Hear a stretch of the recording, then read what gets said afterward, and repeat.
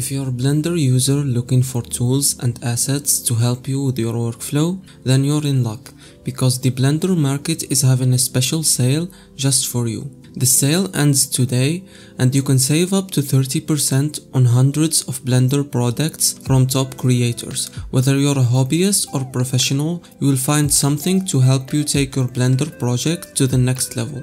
I've been using Blender for years and the Blender market has been my go-to source for assets and add-ons that help me work more efficiently. I'm really excited about this sale because it means I can save even more while getting the tools I need, and that to take my work to the next level. The For the Love of Blender 3D sale includes everything from 3D models, textures, add-ons, and courses. You will find deals on popular products like the Sanctus library add-on, the Lighting in Blender course, and the Polygonic library. I've been using the physical starlight and atmosphere add-on for a few months now and it's been a game changer for me.